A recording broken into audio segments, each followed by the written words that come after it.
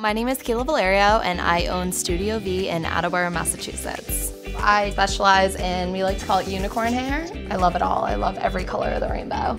To have my own business was one of the scariest things I ever did, but one of the best decisions I ever made.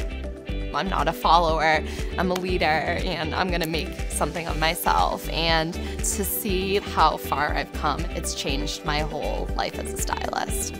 I've doubled my income coming to Sola using Sola Genius, which is just really amazing. Being a girl boss to me just means kicking butt in whatever you're doing. What better way than to have your own business, run it how you want to run it? It's just a great feeling to walk in there every morning and say, This is mine. No one is ever judging you on the sidelines. It's just you and your energy and your clients. I'm just so grateful to be able to have a job where I can still have an amazing life.